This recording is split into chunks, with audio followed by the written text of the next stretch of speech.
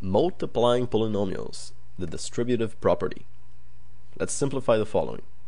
And this is extremely important to get right just as we learn it. Because it will come up through and through in Algebra 1, Algebra 2, Calculus, everything. So, what happens here?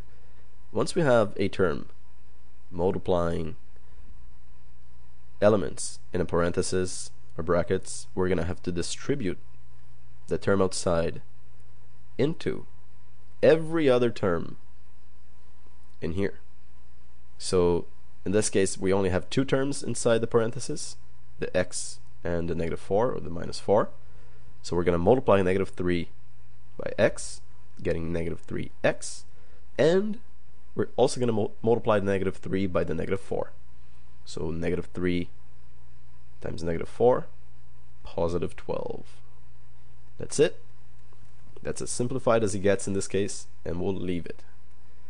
What about this? 7x times x minus 3. Very similar.